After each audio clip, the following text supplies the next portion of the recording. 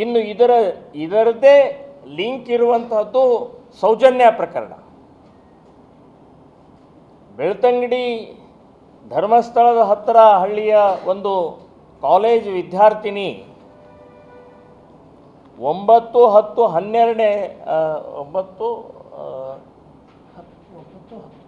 ಒಂಬತ್ತು, ಒಂಬತ್ತನೇ ತಾರೀಕು ಅಕ್ಟೋಬರ್ ಹನ್ನೆರಡನೇ ಇಸ್ವಿ. ಮಾಯ ಆಗ್ತಾಳವಳು ಕಾಣೆ ಅಂತ ಹೇಳಿ ಆದ ತಕ್ಷಣನೇ ಎರಡು ದಿನದ ನಂತರ ಹೆಣವಾಗಿ ಸಿಗ್ತಾಳೆ. ಅಲ್ಲಿ ಬಹಳ ದೊಡ್ಡ ಇದೊಂದು ಪ್ರಕರಣ ಇದು.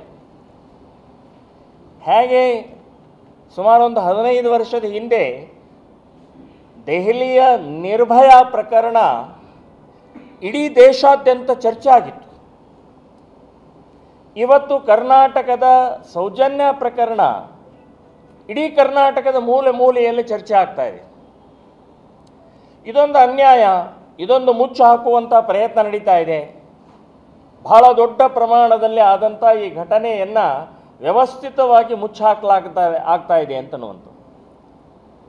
ಸೊ ಇದು ಸೌಜನ್ಯ ಪ್ರಕರಣ ಮತ್ತು ನಾನು ಹೇಳಿದಂಥ ನಲವತ್ತು ಮಹಿಳೆಯರ ಕಾಣೆ ಮತ್ತು ಈ ಗರ್ಭವತಿಯ ಈ ಎಲ್ಲ ಪ್ರಕರಣಗಳನ್ನು ಸ್ವಲ್ಪ ಗಮನಿಸಿದರೆ ಗೊತ್ತಾಗುತ್ತೆ. ಏನಿದು, ಹೇಗೆ, ಯಾಕೆ ಇಷ್ಟು ದೊಡ್ಡ ಪ್ರಮಾಣದಲ್ಲಿ ಆಗ್ತಾ ಇದೆ ಅಂತಂದರೆ ಸರ್ಕಾರದ ನಿರ್ಲಕ್ಷ್ಯ. ಕಾನೂನಿನ ಸಡಿಲಿಕೆ.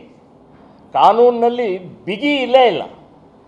ಈ ಎಲ್ಲ ಕಾರಣದಿಂದ ಈ ಎಲ್ಲ ಘಟನೆಗಳಾಗ್ತಾ ಇದೆ ಈಗ ಒಂದು ಬೆಳತಂಗಡಿ ತಾಲೂಕಿನಲ್ಲಿ, ಒಂದೇ ತಾಲೂಕಿನಲ್ಲಿ ಅಂಕಿ ಸಂಖ್ಯೆ ನೋಡಿದರೆ ಒಂಥರ ಭಯ ಆಗತ್ತೆ, ಒಂದೇ ತಾಲೂಕಿನಲ್ಲಿ. ಇಷ್ಟು ದೊಡ್ಡ ಪ್ರಮಾಣದಲ್ಲಿ ಅಲ್ಲಿ ಆಗ್ತಾ ಇರುವಂಥ ಪ್ರಕರಣಗಳು ನೋಡಿದರೆ